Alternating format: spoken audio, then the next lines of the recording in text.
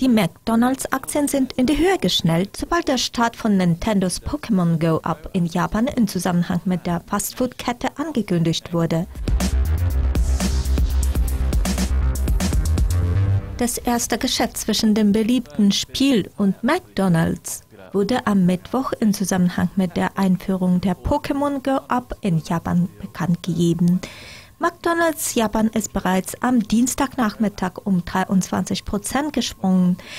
Nintendo gab einige der schnellen Kursgewinne auf und fiel um 15 Prozent. Es sei jedoch bemerkt, dass Nintendos Aktien seit dem 6. Juli um 87 Prozent gestiegen sind und haben 17 Milliarden Dollar an Marktkapitalisierung gewonnen. McDonald's ist bereit, seine Fastfood-Restaurants als gesponserte Orten mit Pokestops oder Gyms auszustatten, an denen die Spieler für eine Schlacht oder zur Unterhaltung mit anderen Pokémons treffen können. GameStop hat bereits vom Brick-and-Mortar-Ansatz im Digitalspiel erheblich profitiert. Der Geschäftsführer Paul Rains sagte, wir haben unsere Shops befragt, 462 davon sind die Pokémon Stops oder Poke Gyms nur am vergangenen Wochenende.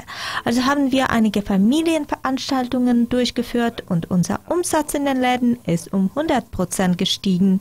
Solcher Deal kann zu einem starken Anstieg der Anzahl von McDonalds-Besuchern führen und als Präzedenzfall für ähnliche gesponserte Standorte weltweit dienen. Bisher haben McDonald's Japan und Niantic, das Unternehmen hinter Pokémon Go, keinen Kommentar gegeben.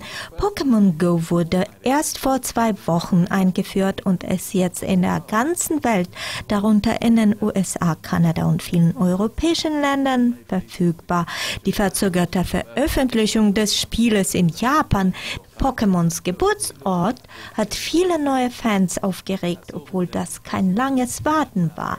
Das war die Presseschau. Bleiben Sie mit Lukas Kolpe TV. Auf Wiedersehen.